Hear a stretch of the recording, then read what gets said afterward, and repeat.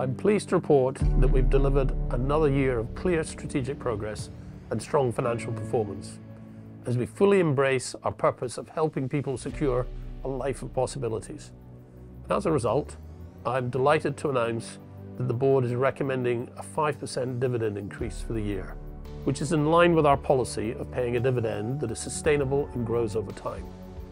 As the UK's largest long-term savings and retirement business, managing around 260 billion of assets on behalf of our 12 million customers, we have the responsibility and opportunity to make a real difference to our customers and to help drive a low-carbon, fair and more secure future.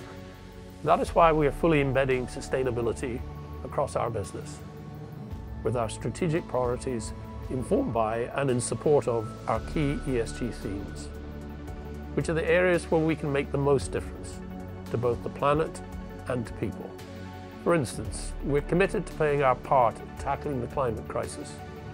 This means managing the financial risks that climate change poses to our customers, as well as maximising the opportunities it creates. We will do this by transitioning our business to net zero and by being a leading voice in calling for action and driving system change.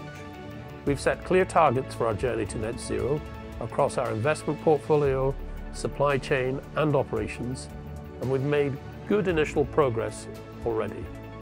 We've also have a critical role to play in tackling the pension savings gap, where we want to help people live better, longer lives through championing good work and skills, enabling greater financial well-being. And we're doing this through the work of our think tank, Phoenix Insights, and by leading as a responsible business. You can find out more about the work we are doing across our key ESG themes in our 2022 sustainability report, which is available on our website.